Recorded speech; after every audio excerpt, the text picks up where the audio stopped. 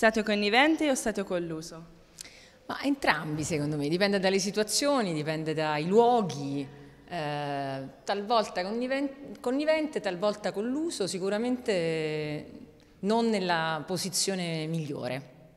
Ultimamente si parla del fenomeno dell'andrangheta al nord. Anche in tali casi si assiste ad un rallentamento della pianificazione territoriale come al meridione?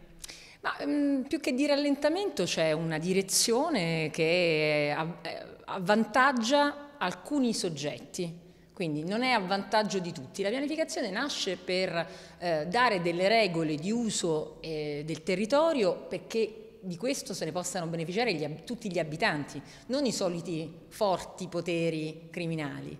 Grazie.